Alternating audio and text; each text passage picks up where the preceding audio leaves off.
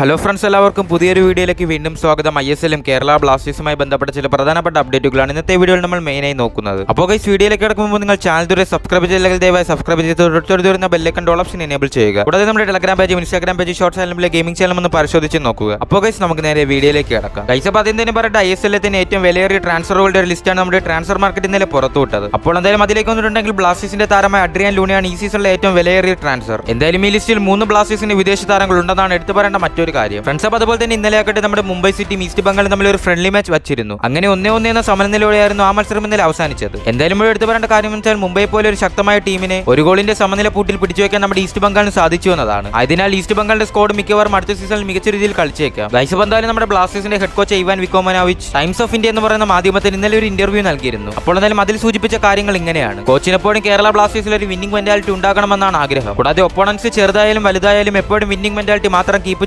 ചെയ്യണമെന്നതാണ് തനിക്ക് ആഗ്രഹമെന്നാണ് കോച്ച് ഇന്നലെ സൂചിപ്പിക്കുകയുണ്ടായത്. എന്തായാലും ഇതിനൊക്കെ പുറമെ തന്നെ നിരവധി കാര്യങ്ങൾ ഇന്നലെ ടൈംസ് ഓഫ് ഇന്ത്യയ്ക്ക് ഹെഡ് കോച്ച് നൽകുകയുണ്ടായി. അപ്പോൾ എന്തായാലും അതിൽ ചില കാര്യങ്ങൾ ഇതിന് മുമ്പത്തെ ഇന്റർവ്യൂവിലൊക്കെ കോച്ച് പറഞ്ഞത് തന്നെയായിരുന്നു. അതിനാൽ എന്തായാലും ഞാൻ അതിലേക്കൊന്നും പോകുന്നില്ല. ഗൈസ് അതുപോലെ തന്നെ ഹീറോ ഫുട്സാൽ ചാമ്പ്യൻഷിപ്പ് ഒക്കെ നടക്കുകയാണല്ലോ. അങ്ങനെ ആ മത്സരം ഇന്നലത്തോടെ തീർന്നിരിക്കുകയാണ്. കൂടാതെ ഡൽഹി എഫ് സി കിരീടം അണിയുകയും ചെയ്തു. അപ്പോൾ എന്തായാലും ആദ്യത്തെ ഫുട്സാൽ ടൂർണമെന്റിന്റെ ജേതാക്കളായ ഡൽഹി എഫ് സിക്ക് നമുക്കൊരു കൺഗ്രാചുലേഷൻസ് തന്നെ നേരാം. ഗൈസ് ഇനി എന്തായാലും മറ്റൊരു അപ്ഡേറ്റിലേക്ക് എത്തിയിട്ടുണ്ടെങ്കിൽ നേരത്തെ തന്നെ ഫിഫ ട്വന്റി ടുവിന്റെ ഈ ഐ എസ് എൽ എന്ന് പറഞ്ഞ ഒരു ലീഗിനെ കുറിച്ച് നമ്മൾ സൂചിപ്പിച്ചതാണല്ലോ. അങ്ങനെ ഇരുപതാം തീയതി ആയിരിക്കും ഈ ലീഗുകൾ തുടങ്ങുക. അതുപോലെ തന്നെ ഐ എസ് എല്ലിന്റെ യൂട്യൂബ് ചാനലും കൂടാതെ ഫേസ്ബുക്ക് പേജിലും ഒക്കെ നിങ്ങൾക്ക് ഈ മത്സരങ്ങൾ ലൈവായി തന്നെ കാണാൻ സാധിക്കുന്നതാണ്. എന്തായാലും ടെലകാസ്റ്റുമായി ബന്ധപ്പെട്ട കാര്യങ്ങൾ ഐ എസ് എൽ തന്നെ ഇന്നലെ ഒഫീഷ്യലായി അനൗൺസ് ചെയ്തിരുന്നു. കൈസബ് അതുപോലെ തന്നെ നമ്മുടെ I F T W C ആകട്ടെ ബംഗളൂരു എഫ് സിയുടെ ഒരു പോസിബിൾ ലൈനപ്പാണ് പുറത്തുവിട്ടിരുന്നത്. അപ്പോൾ എന്തായാലും ഈ ലൈനപ്പിലേക്ക് വന്നിട്ടുണ്ടെങ്കിൽ അത്യാവശ്യം മികച്ച ലൈനപ്പാണെന്ന് തന്നെ പറയാൻ സാധിക്കും. എന്തായാലും കഴിഞ്ഞ വർഷം അവർ വിചാരിച്ചതുപോലത്തെ ഒരു റിസൾട്ട് അവർക്ക് നേടാൻ സാധിച്ചില്ല. അപ്പോൾ എന്തായാലും പണ്ടത്തെ ഫോമിലേക്ക് ബംഗളൂരു എഫ് സി സീസണിലെങ്കിലും തിരിച്ചെത്തുമെന്ന് തന്നെ നമുക്ക് പ്രതീക്ഷിക്കാം. ഫ്രണ്ട്സ് അപ്പോൾ അതുപോലെ തന്നെ നമ്മുടെ ഹൈദരാബാദ് എഫ് സിയുടെ ഐ എസ് എൽ ഈ സീസണിലെ ഫിക്ചറാണ് നിങ്ങൾ ഇപ്പോൾ കാണുന്നത്. അപ്പോൾ എന്തായാലും ആവശ്യമുള്ളവർ ഇത് സ്ക്രീൻഷോട്ട് എടുത്ത് സൂക്ഷിക്കുക. ഫ്രണ്ട്സ് അപ്പോൾ അതുപോലെ തന്നെ നമ്മുടെ നോർത്ത് ഈസ്റ്റ് യുണൈറ്റഡിന്റെ ഒരു പോസിബിൾ ലൈനപ്പ് ഇപ്പോൾ സൂപ്പർ പവർ ഫുട്ബോൾ പുറത്തുവിട്ടിരിക്കുകയാണ്. അപ്പോൾ എന്തായാലും ഖാലിദ് ജാമിലാണല്ലോ അവരുടെ ഹെഡ് കോച്ച് വരുന്നത്. ആദ്യമായിട്ടാണ് ഒരു ഐ എസ് എൽ ടീം ഒരു ഇന്ത്യൻ കോച്ചിന്റെ കീഴിൽ ഇറങ്ങുന്നത്. എന്തായാലും ഒരു പുതിയ ദൗത്യത്തിനായി ഇറങ്ങുന്ന ഖാലിദ് ജാമിൽ നമുക്ക് ഓൾ ദ ബെസ്റ്റ് തന്നെ നേരാം. ഇനി മറ്റൊരു കാര്യത്തിലേക്ക് കൊണ്ടുണ്ടെങ്കിൽ നമ്മുടെ Rafael Crivellaro rocket I S കുറിച്ച് സൂചിപ്പിച്ചത് ഇങ്ങനെയാണ്. ഇന്ത്യൻ പ്ലേയേഴ്സിന്റെ ഡെവലപ്മെന്റിനായി ഒരു ദീർഘകാല ലീഗ് അനിവാര്യമാണ്. കൂടാതെ ഐ എസ് എല്ലിന്റെ കാലാവധിയാകട്ടെ വെറും നാല് മാസമേ ഉള്ളൂ. കൂടാതെ നാല് മാസത്തെ ലീഗ് കൊണ്ട് താരങ്ങളൊന്നും ഡെവലപ്പ് ചെയ്തെടുക്കാൻ സാധിക്കില്ല. അതിനാൽ ലീഗിന്റെ നീളം കൂട്ടണമെന്നായിരുന്നു താരം ഇന്നലെ നടന്ന ഒരു ഇന്റർവ്യൂവിൽ സൂചിപ്പിക്കുകയുണ്ടായത്. ഗൈസബ് അതുപോലെ നമ്മുടെ Super Power Football A T K Mohan ബഗാന്റെയും ഒരു പോസിബിൾ ലൈനെ പുറത്തുവിട്ടിട്ടുണ്ടായിരുന്നു. എന്തായാലും ഐ എസ് എല്ലിൽ തന്നെ ഒരു ഡെഡ്ലിയസ്റ്റ് ടീം തന്നെയാണ് നമ്മുടെ A T K Mohan Bagan Indian താരങ്ങളാകട്ടെ വിദേശ താരങ്ങളാകട്ടെ എല്ലാ മികച്ച താരങ്ങൾ തന്നെയാണ് അവർക്കുള്ളത്. എന്തായാലും നമ്മുടെ A T K Mohan Bagan ഈ സീസണിൽ എത്ര സ്ഥാനത്തായിരിക്കും ഫിനിഷ് ചെയ്യുക എന്നാണ് നിങ്ങൾക്ക് തോന്നുന്നതെന്ന കാര്യം കമന്റായി രേഖപ്പെടുത്തുക. അതുപോലെ നമ്മുടെ I F T W C ആകട്ടെ ബംഗളൂരു എഫ് സിയുടെ ഒരു സ്ട്രെങ്തും വീക്ക്നെസിനെ കുറിച്ച് ഇന്നലെ റിപ്പോർട്ട് ചെയ്യുകയുണ്ടായി. അപ്പോൾ എന്തായാലും അവരുടെ സ്ട്രെങ്തിനെ കുറിച്ച് നോക്കിയിട്ടുണ്ടെങ്കിൽ ഇന്ത്യൻ നാഷണൽ ടീമിൽ കളിക്കുന്ന നിരവധി പ്ലേയേഴ്സ് തന്നെയാണ് അവർക്കുള്ളത്. അതിനാൽ മികച്ച ഇന്ത്യൻ നേരെയുള്ള ഒരു ടീം തന്നെയാണ് ബംഗളൂരു എഫ് സി എന്ന് നമുക്ക് പറയാൻ സാധിക്കും. അപ്പോൾ എന്തായാലും ഇവർക്കൊപ്പം ഫോറിൻ താരങ്ങൾ കൂടെ ചേരുമ്പോൾ വേറിട്ടൊരു ടീം തന്നെയാണ് ബംഗളൂരു എഫ് സി എന്ന് നമുക്ക് പറയാൻ സാധിക്കും. ഇനി എന്തായാലും വീക്ക്നെസ്സിലേക്ക് ഉണ്ടെങ്കിൽ മികച്ച ഫുൾ ബാക്കോ സെൻട്രൽ മിഡ്ഫീൽഡേഴ്സോ ഒന്നും അവർക്കില്ല. അതുപോലെ തന്നെ പുതിയ കോച്ചാണ് കൂടാതെ നിരവധി മാറ്റങ്ങളാണ് ആ കോച്ച് ഈ ടീമിൽ കൊണ്ടുവന്നത്. കൂടാതെ ഇതിലേക്ക് എങ്ങനെ ബംഗളൂരു എഫ് സി അഡോപ്റ്റ് ചെയ്യുന്നു കാര്യം നമുക്ക് കണ്ടു തന്നെ അറിയേണ്ടതായുണ്ട്. ഫ്രണ്ട്സ് അപ്പോൾ ഇനി എന്തായാലും അവസാനമായി പറയട്ടെ. ബ്ലാസ്റ്റേഴ്സ് അവരുടെ പുതിയ അസിസ്റ്റന്റ് കോച്ചിനെ ഇന്നലെ അനൗൺസ് ചെയ്യുകയുണ്ടായിരുന്നു. അപ്പോൾ സ്റ്റീഫൻ എന്നാണ് നമ്മുടെ പുതിയ അസിസ്റ്റന്റ് കോച്ചിന്റെ പേര് വരുന്നത്. അപ്പോൾ എന്തായാലും ഈ കോച്ചാകട്ടെ നിരവധി ക്ലബ്ബുകൾ ഇതിനു മുമ്പ് തന്നെ പരിശീലിപ്പിച്ചിട്ടുണ്ട്. എടുത്തു പറയേണ്ട കാര്യം എന്ന് വെച്ചാൽ ജോർദാൻ നാഷണൽ ഫുട്ബോൾ ടീമിന്റെ അസിസ്റ്റന്റ് കോച്ച് കൂടിയായിരുന്നു ഈ കോച്ച് എന്നതാണ്. ഗൈസ് എന്തായാലും ഇതുമായി ബന്ധപ്പെട്ട ചില കാര്യങ്ങൾ നമ്മുടെ ഹരിഗോവിന്ദ് ഇന്നലെ റിപ്പോർട്ട് ചെയ്തിരുന്നു. അതിലെല്ലാം വ്യക്തമായി പറയുന്നുണ്ട്. ആയതിനാൽ നമുക്ക് ആ റിപ്പോർട്ട് കൂടി ഒന്ന് കണ്ടു നോക്കാം. അപ്പോൾ എന്തായാലും ഞാൻ നേരത്തെ തന്നെ പറഞ്ഞല്ലോ ഈ കോച്ച് ജോർദാൻ നാഷണൽ ടീമിന്റെ അസിസ്റ്റന്റ് കോച്ചാണെന്ന് അപ്പോൾ രണ്ടായിരത്തി പതിനെട്ടിൽ നമ്മുടെ ഇന്ത്യൻ നാഷണൽ ടീമാകട്ടെ ജോർദാൻ നാഷണൽ ടീമിനെ നേരിടുകയുണ്ടായി. കൂടാതെ ആ മത്സരത്തിൽ രണ്ട് ഒന്ന് എന്ന സ്കോർ ലൈനിൽ ഇന്ത്യ പരാജയപ്പെട്ടുവെങ്കിലും ഇന്ത്യക്കായി ഒരു ഗോൾ നേടിയത് നമ്മുടെ നിഷു കുമാറാണ്. അപ്പോൾ എന്തായാലും ആ നിഷു കുമാർ കേരള ബ്ലാസ്റ്റേഴ്സിലാണെന്ന് നിങ്ങൾ ഓർക്കേണ്ടതാണ്. എന്തായാലും ഇവിടെ എടുത്തു പറയേണ്ട മറ്റൊരു ദുഃഖകരമായ കാര്യം എന്ന് വെച്ചാൽ ബ്ലാസ്റ്റേഴ്സ് നേരത്തെ തന്നെ സൈൻ ചെയ്ത അസിസ്റ്റന്റ് കോച്ചായ പാട്രിക് വാൻ കെറ്റ്സ് ക്ലബ്ബ് വിട്ടു എന്നതാണ്. എന്തായാലും പാട്രിക് വാൻ കെറ്റ്സ് ആകട്ടെ ഒരു പേഴ്സണൽ എമർജൻസിയെ തുടർന്ന് നാട്ടിലേക്ക് പോകുകയാണെന്നാണല്ലോ ബ്ലാസ്റ്റേഴ്സ് നേരത്തെ തന്നെ അനൗൺസ് ചെയ്തത്. അപ്പോൾ എന്തായാലും കോച്ചിന്റെ ആരോഗ്യത്തിൽ ചില പ്രശ്നങ്ങൾ ഉണ്ടായിരുന്നത് കൊണ്ടായിരുന്നു താൽക്കാലികമായി ബ്ലാസ്റ്റേഴ്സ് വിട്ടതെന്നാണ് ഖേലിനൂർ റിപ്പോർട്ട് ചെയ്തത്. കൂടാതെ ഈ കോച്ച് തിരിച്ച് ക്ലബിലേക്ക് തന്നെ മടങ്ങി വരുമെന്ന് ബ്ലാസ്റ്റേഴ്സിന് ഒരു പ്രതീക്ഷ ഉണ്ടായിരുന്നു എന്നാൽ പഴയ ആരോഗ്യനില വീണ്ടെടുക്കാൻ സാധിക്കാത്തതോടെ മടങ്ങി വരാൻ സാധിക്കില്ലെന്ന് മനസ്സിലായി. ആ ഒരു സാഹചര്യത്തിലാണ് ബ്ലാസ്റ്റേഴ്സ് ഇപ്പോൾ പുതിയ അസിസ്റ്റന്റ് കോച്ചിനെ സൈൻ ചെയ്തിരിക്കുന്നത്. എന്തായാലും ഈ അസിസ്റ്റന്റ് കോച്ചും ഒരു മികച്ച കോച്ച് എന്ന കാര്യത്തിൽ യാതൊരു സംശയവും വേണ്ട. അപ്പോൾ കേസ് എന്തായാലും ഇത്തരം കാര്യങ്ങൾ സൂചിപ്പിച്ചുകൊണ്ട് ഞാൻ വീഡിയോ അവസാനിപ്പിക്കുന്നു. വീഡിയോ ഇഷ്ടപ്പെട്ട ലൈക്ക് ചെയ്യാനും ഷെയർ ചെയ്യാനും അതുപോലെ ചാനൽ ഇതുവരെ സബ്സ്ക്രൈബ് ചെയ്തില്ലെങ്കിൽ ദയവായി സബ്സ്ക്രൈബ് ചെയ്യാനും മറന്നു പോകരുത്. കൂടാതെ നമ്മുടെ ടെലഗ്രാം പേജും ഇൻസ്റ്റാഗ്രാം പേജും ഷോർട്ട് ചാനലിലെ ഗെയിമിംഗ് ചാനലും ഒന്ന് പരിശോധിച്ച് നോക്കുക. അപ്പോൾ ഗൈസ് Thanks for watching.